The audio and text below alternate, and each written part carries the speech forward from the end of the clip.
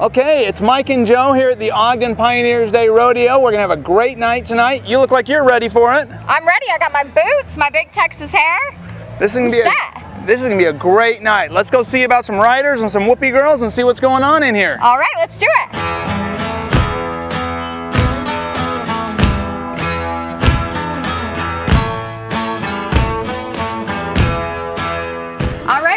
At the Ogden Pioneer Day Rodeo with John Harrison, the rodeo clown, right? That is All correct. right, so tell us a little bit about your experience, how long you've been doing this.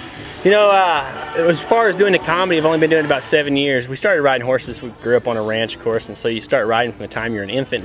I got my first trick riding lesson when I was six years old, and you know everything that your mom and dad told you not to do on a horse, kind of what we do. And Yeah. So you come out to the rodeo, and we turn trick riding into a comedy act now, and so we kind of fall off and hang on at the same time. How rodeos a year do you do? We're on the road about nine months out of the year. We leave here and we go to Oregon, and then um, back to Texas. You know, so Nice. we travel all over, and it's great. Uh, rodeo's such a family sport. I get to take my wife, my two kids with me everywhere we go. She's from California, and so when we get to California, she used to go see her family. And Right. So we get back to Oklahoma, we get to see my family, and so we're on the road all the time. Yeah, we're excited Yeah, to watch exciting. you perform tonight. We're very excited, and thanks so much for taking time to speak with us. You're welcome. Thank y'all for having us at Ogden.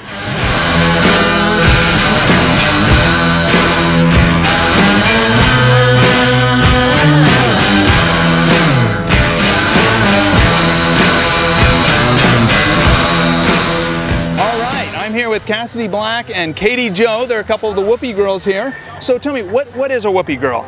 Well, a Whoopee Girl is a group of girls who represents Ogden Pioneer Days. Not only do we carry the sponsor flags around the arena, but we help with other programs such as the Special Kids Rodeo and the Hoedown and a lot of other events that Ogden Pioneer Days has to offer. Well, exciting. And this is the 75th anniversary of the Whoopee Girls. Um, you guys haven't been doing it that long, obviously. How long have you been a Whoopee Girl? I've been a Whoopee Girl for three years now. And this is going on eight. Eight years. Wonderful. Well, anything exciting we need to watch for tonight that's going to be different than normal? We are having a really tough group of cowboys coming in, and the wolf pack's coming in, so it should be really interesting.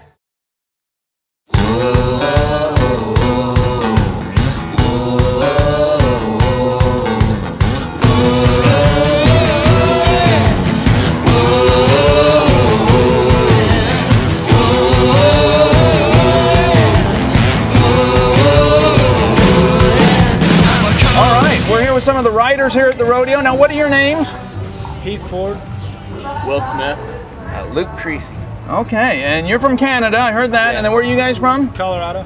South Carolina. Okay, and what events do you do here at the rodeo? Bareback riding. yeah, we bareback ride real around.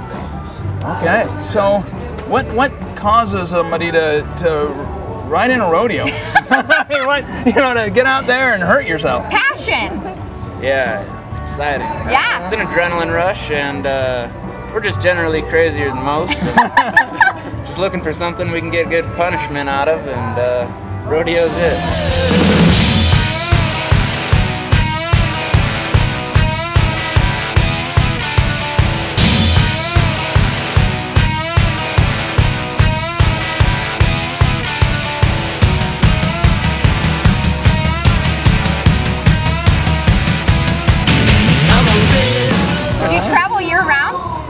Pretty much. The, the winter's a little less vigorous, but the summer we're gone nearly every day. I Yeah? think the last couple years I've been gone uh, 210 plus days from home. Wow, Really?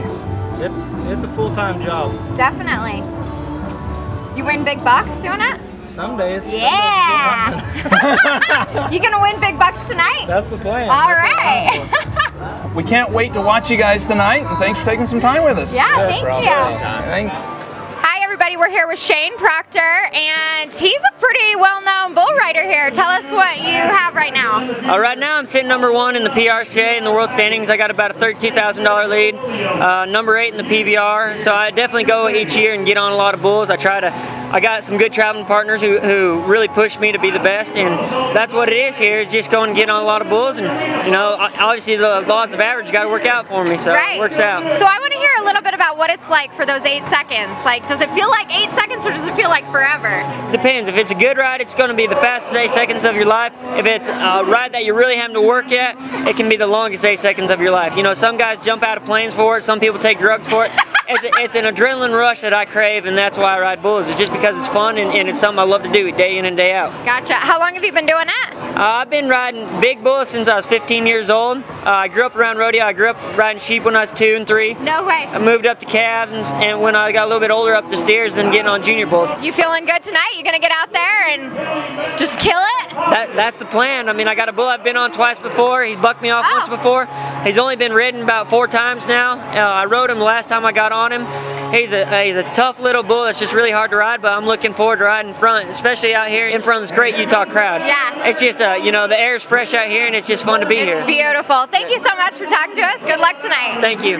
Mike, I love the rodeo. I've been every year. It's so great. We've had an awesome time tonight. Lots of rough riding, hoof stomping action. Yes, we have. Join us next week when we go check out the Ogden Pioneers Day Parade. We'll have a great time there as well. We'll see you there.